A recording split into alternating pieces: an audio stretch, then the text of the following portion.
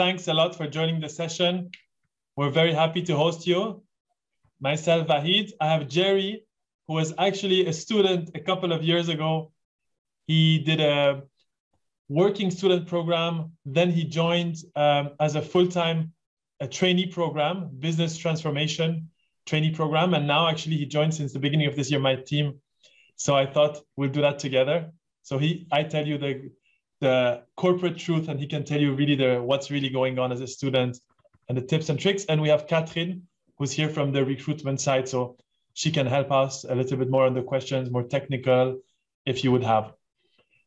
We're opening a poll because I'm really curious to see where you are, what you're doing right now, and uh, what you would like me to talk about. So first of all, I know this is DACH, so I'd be super keen to understand where you are based. Also, I want to understand which stage of your education you're in right now. Is it secondary, high school, gymnasium, Realschule? I mean, each of the countries have a different setup. Um, or if you're already working and you're interested to hear more what you could have done maybe 10 years ago to join SAP. And also, what are you interested about? Is it really an internship that you're looking for? Do you have one job in mind and you're you have studied something very specific and you want absolutely that job? Or are you kind of curious trying to figure this one out? And of course, the last question is do you want slides? I'm a corporate uh, strategy person. So I was in the, the corporate strategy team for five years. I was in Boston Consulting. So I love slides. But we can also have a very easy coffee chat. I know that all of you are studying from home the last two years. So you've been zoomed out eight hours of lectures a day with the professors. So I'm also happy to stop the slide and uh, go to the dirty stuff and the, the secret stuff that Jerry can tell you all of the truth of what's happening and how you get a job. So we're looking at the poll. I see there's good answers. I give you one or two more minutes. Myself, I grew up in Geneva in Switzerland. So I don't see anyone from Switzerland here. I'm seeing Austria, probably around 15, 20%, and Germany around uh, 70%. So where are my Swiss people? Where are my French speaking Swiss people? What's going on? I'm a bit disappointed here. Maybe I need to do another session with them. So um, I grew up in Geneva. I actually continued my life in uh, in Lausanne. I went to this uh, engineering school in Lausanne, then in the south of France. Then I continued in Princeton for my master's thesis with Siemens. And uh, after this, this was Switzerland, grew up in Switzerland, then worked for Shell, worked for Shell out of London. I was doing business transformation programs. After London, we moved to Asia, to Singapore. So this was kind of my second life. We did Singapore, um, and there I joined Boston Consulting Group. So in strategy, I was doing strategy and transformation projects in Asia. And um, I married a German, and that's how we're back here with the two kids. And now I'm in Walldorf, so below Heidelberg. So we are. I'm here with my two kids, and uh, they switched from Singapore, where they grew up. Both of them were born there, and they moved to Germany. So I think Jerry, it's time to close the polls and to see if we actually have any Swiss people in this call. Can we share the results? So now you can see the results. Hopefully you can see the results is that 15% from Austria, 71% from Germany, 15% others. I'll be curious where you're from. Just put it into the chat box. I'd love to know. Then we have most of you are majority of masters and PhD, bachelors and secondary. Look, I think the earlier you start engaging and to know, the better it's going to be for you for your career. So high school students, that's awesome. Come in, do some internship, and uh, I think bachelors and masters, probably it's the stressful times when you need to find a job. Probably where am I going to be next year? I don't want to be sitting at home with my parents and asking for pocket money from my grandmother. So let me get a job. Let me start get paid. And I think generally exploring and internships. Oh my God, we have a lot of coffee chat. I thought most of you are going for the standard pitch, so I'm a bit disappointed. I had all of my slides. Um, there is always three groups of people in these sessions. First, people that are just curious, a bit of tourists, just show up what's going on. Am I going to get some goodies? Then there's hostages. hostages, their parents, their girlfriends, boyfriend are telling them, okay, you need to get a job. This is enough. Just go there. Please attend the session. Make sure that you attend the things and take some notes and email the people. And the third category is the true learners. So for those who are tourists, I hope I give you a bit of entertainment. So I'll talk about Leo Messi, Brad Pitt, and sneakers. For those who are really the passionate, true seekers, then I'll give you the, the corp- a bit of the corporate pitch also. And for those who are hostages, at least I'll give you some uh, top three secrets to get a job. So everybody will be happy, hopefully, by the end of the session. So to get started, I thought that um, I talk about sports, then some people want to know about sports. I did a very interesting session at INSEAD. INSEAD is this business school that's in Paris and Singapore, where one of the professors was telling me about the secrets to winningness. What does it take to win in a sports team? What are the key characteristics? And let me go to the next slide. Can anyone recognize where this picture comes from? Which movie is this? And if you know, you can just type it into the chat. If you feel shy, just send me a private message. And Moneyball, Varun. Okay, perfect. Please, Jerry, take the name Varun. You get a prize. I'll send you a nice book. Moneyball, absolutely. This is Moneyball. I took the German screenshot because I think the German audience appreciates and can go directly on it. Moneyball, this is about the science of data and analytics about to, to get better uh, performing teams. Actually, it's not all about analytics and big data and machine learnings. I think the best, most basic thing is the practice of set plays. Having a number of set plays that as a team, you know, it's the power of simulation. What's the configuration? If this happens, how do we react? It is boring. It is terrible. 95% of it is when it's cold, freezing, raining, and only 5% is the game, right? Is when you're in game situation. But the first one was the practice of set plays, the consistency of practicing. Number two, secret of winningness is you have a tendency to decelerate when you're reaching the goal. You have good grades, everything looks good, the exam looks good, but then when it comes the very, very last moment, you're really tired.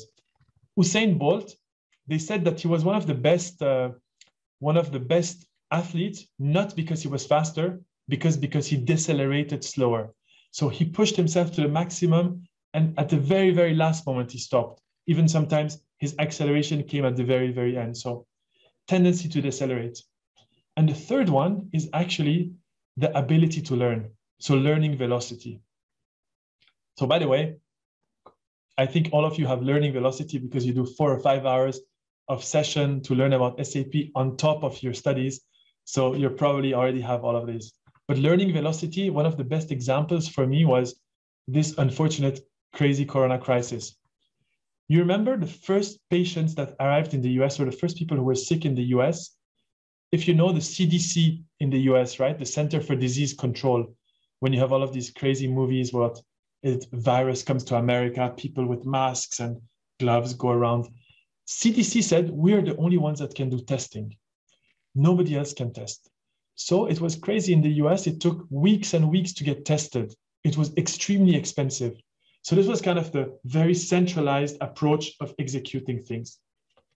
And I think that's where people didn't really know who was infected or not. Then very quickly, the US switched in terms of the vaccine production so the testing was very centralized. Vaccine production, I mean, as you all know, fully decentralized. We open it up. Moderna, you can go BioNTech, you can go CureVac, you can go COVAX. So every single company is able to do it. So this is kind of the decentral approach. And we know that in learning and in team performance, decentral approach increases the speed of learning, uh, and that's really critical. So predictors of winningness, practice of set plays, not decelerating, and learning. And the learning part was always very important for me. I always thought that to be successful in corporate, you need to know. You, I need to be super prepared. I need to have it in my studies. And in the session, the previous session, also Sebastian was mentioning, right? You don't, the world is changing so fast that the skills that you have when you study are going to change very quickly. The best example for me was in SAP, some of our very, very senior members. So it's kind of our executive committee, the board members. I was supporting one of the, the, the board members when she took her job. The first thing she did, she actually went to the other board member, our CFO, Luka Mucic, you can search him. She asked him, Hey, Luka, I actually have no clue about how to do financials, talk to investors. I've been doing sales all my life. Can I shadow you for one week? And when I saw that, that wow, probably from the most senior ranks in SAP, admit, hey, I don't really know. I want to actually sit behind you and shadow you. And that's a practice I learned. And every quarter, I'm trying to do that. One week, sit within a team that I really have no clue about. And that's the beauty at SAP because you're allowed to have this time for learning and training. So last quarter, I was with the cloud platform development teams. I was doing cloud platform architecture reviews. Two quarters ago, I was with the German sales teams doing forecasting. And my next quarter, I'm thinking about the supply chain. But this being a sponge is so much more important than knowing the things. And um, for me, this is something that I had from the childhood, kind of this, I call it the posture of learning. I had this posture of learning when I finished my high school and I wanted to save the world. And, you know, I was a white kid, grew up in Switzerland, felt very privileged. I need to give back. So what do I do? I went to Africa. I went to Africa, to the villages, to help with medical healthcare projects, sitting under the mango tree. And if you haven't done that, this is the best thing in life. You're chilled, mangoes fall, you just eat. So the rhythm of life goes very different. But I took this year to go to Africa. And I said, Oh, I want to be a medical doctor. I want to help people that don't have healthcare and this. And the interesting part was that in Brazzaville, so this was in French speaking Congo, people would go to the hospital and would get injections in their hands of glucose. What is glucose? Glucose is sugar. But the fact was that the doctor would get paid when there's people that come to the hospital. And because the doctor didn't have the right salary, essentially he had to do this kind of fake patients in order to get his re- revenue. When a nurse would leave the hospital, essentially, instead of replacing her, they would get a ghost salary. They would keep her salary and somebody else would do. And I thought to myself, man, it's not doctors that the world needs. Of course, you need doctors. I mean, Africa, Asia, any there is doctors, there's great medical healthcare. What the world needs is information. And this was 1997. This was, you know, before we had iPhones, we had kind of the very old Nokia the long flip phones, or we had the Razr that we opened. And I thought, wow, if the people were able to have access to this education, right? This was the beginning of the internet, 1997, 98. And that's what I thought. One line of code can change the world. Data and information. It's not about being a medical doctor to save patients and you know pump the hearts and do some heroics. And that's what kind of made me think about IT technology. It was the beginning of the internet at that time. And this was where I decided, hey, I'm going to go study media and communications at the engineering school. And my parents had told me, if you go to Africa, we don't want you to just stay and go around and bum around. You need to register for your studies before. So I had registered for the engineering school in Lausanne. I came back and I didn't I didn't know that it was all the first two years physics, mathematics, statistics. I hated it. It was so tough. And I and I'm my heart goes for all of you.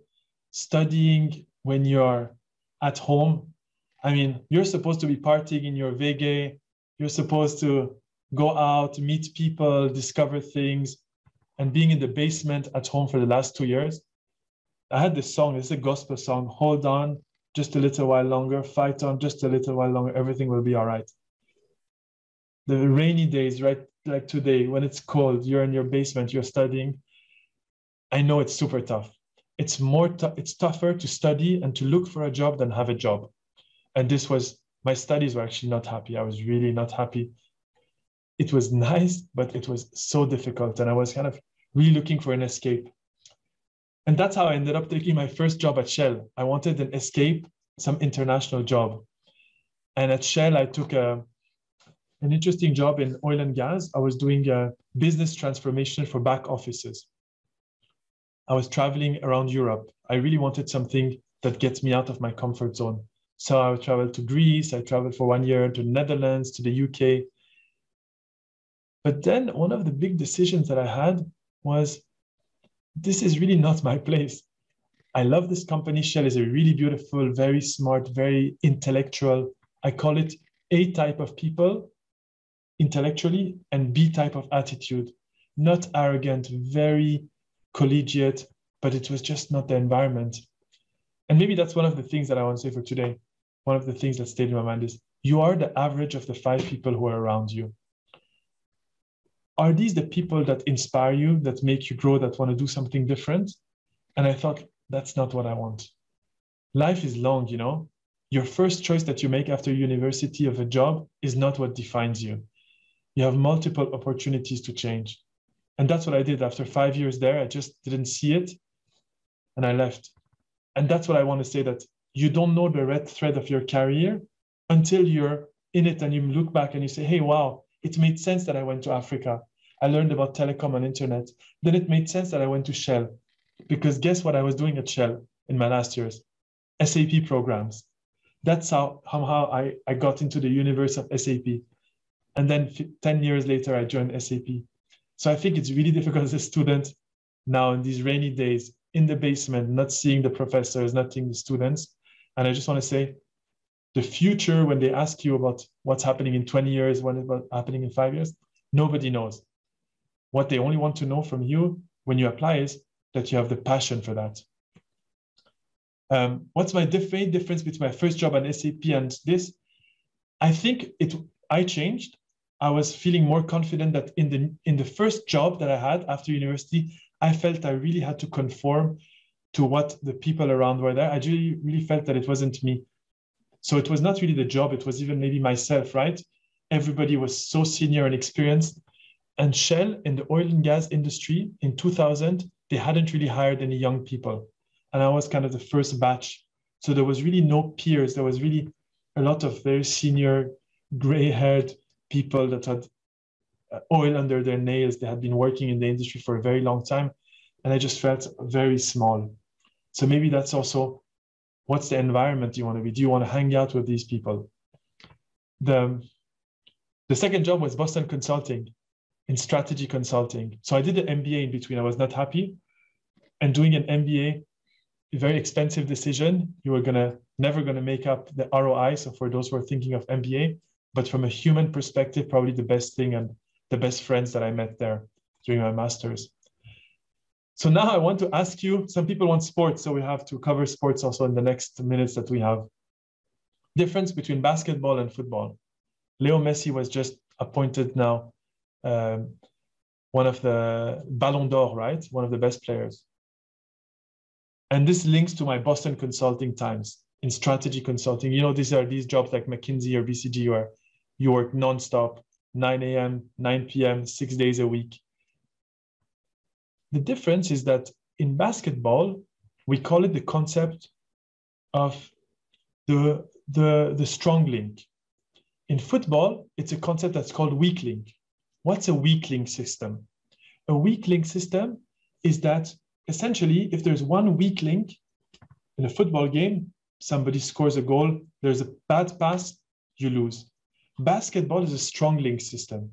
Essentially, there's a lot of action, a lot of movement. And in basketball, for instance, if you want to improve your team, you get a really strong player. This guy on the left, LeBron James. He can go shoot, he can come back and defend, he go shoot and defend. Fast paced, exactly. Very, it's fast paced. The world of, of uh, strategy consulting and the enterprise is actually a weak link system. It's essentially the ability to play as a team is more critical than to be a superhero in the past, people wanted to have really cowboy, someone who can code, someone who's the guru in machine learning and this. But your ability to work in a team, to resolve as a team, is what people look now when they do an assessment center. And I, I felt that I had not learned that at school because in Europe, you do much less than that. And I know in Asia and the US, they did much more. So that's really what I learned in Boston Consulting the power of the team. And essentially that was my five next five years and the same thing happened by the way. After five years i was like ah oh, maybe that's not where i should be. Maybe i'm not going to grow here. And uh, i know that maximilian is going to ask me what's what happened there? I would say it's also some what some people call imposter syndrome. You know you make it somewhere and you believe hey you make it till you fake it. And somehow i felt i was faking it. And also strategy consulting i'm not sure if you know about probably had the interviews, the McKinsey, BCG. I mean, it, you work nonstop. So I had one child at the time and a second child. And uh, my wife sat me down. I was flying out Sunday nights, coming back on Friday nights to at home for this. So it was crazy. It was amazing from a job perspective, but really crazy. And um, they said, Vahid, you're either my partner or BCG partner because this marriage is not going to go further. So this was a big kind of slowdown. And that's where kind of the SAP opportunity came. Wow, a company which has the, the type of people I want to work with that doesn't have the crazy lifestyle. And uh, that is really changing the world. And back to my love around one line of code can change the world. And um, that's how kind of the SAP, which I would say the third part of my career, started. And the reason why I say this to you, because you, the choices that you're making right now, it feels very heavy. What's my first job? What's this? No, it's not. Nobody knows what they want to do. They make choices, they do internships, they enter into the market, and that's how you discover. So don't let anyone ask you what you want to do in five years disturb you. Just pick an answer, be passionate about it. That's what we look for. Now I go to the three secrets. The first things that I, if I think about my career choices, and especially SAP, one was reaching out, talking to people that are, I did, I explored 45 companies before finding SAP when I was in Singapore. So it's not going to come just like this. You need to talk to people. You need to reach out. You need to harass people. Then the second part was really how do I get myself inside the company rather than waiting from the outside? So, internship, working students, projects, anything inside. And that's how I got more into contact with what's the reality of SAP. And the third one is, and that's I think maybe to a question of why I quit quit jobs, why I stayed, is because the moment you can really feel that you are not kind of your work person, you have to put the mask when you come in and then you're in and out. And to be honest maybe it has to do a lot with me with my maturity and my and what was happening in the rest of my life. So it's not universal but i would say we want you as a as who you really are. And it's not just me i asked um, five of the people that we have hired six of the people so that's really the examples and i would give them to you as examples to reach out take their names connect with them i already told them they're waiting for your emails so this is not just what I'm talking uh, kind of a theory. It's really how it happens. All six of them, and I've seen from your names that you're from all around the world as well. It's a coincidence that all of them are master students, by the way. Master, being a master student is not the, the requirement for SAP. You can be a PhD, you can be a bachelor's, you can come directly from high school. Our CEO is not a master student our CEO had a very interesting path. You can check him out, Christian Klein, and he made it and he's extremely successful. But I would say what's interesting is Regina, she just started in HR with a limited contract, not even a working student. And all of them applied via the website. That was interesting for me. You know, sometimes you think, oh, you need to have connections, you need to know someone. The websites don't work. The websites will work if you have a, if you put some time in your in your application letter if you put some time in your GitHub, in your LinkedIn, in your portfolio, the first thing that we'll do is Google you, right? So if I find a nice LinkedIn web page with some comments, some some some some talking points, a picture, something that's professional, people will reach out to you. So, you know, like I, I, I that's how I got my job at Shell, by the way, the first job. I applied online. I didn't know anyone in Shell.